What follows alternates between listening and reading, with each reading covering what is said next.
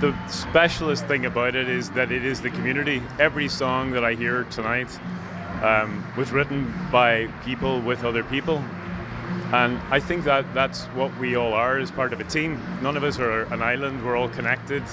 And the fact that we get to come into a room together to celebrate songwriters together and to acknowledge that this is more than just one person, it's more than just a performer, it's more than just one artist. It's, it's about us all working together, it's about us all coming together and finding a way to make music.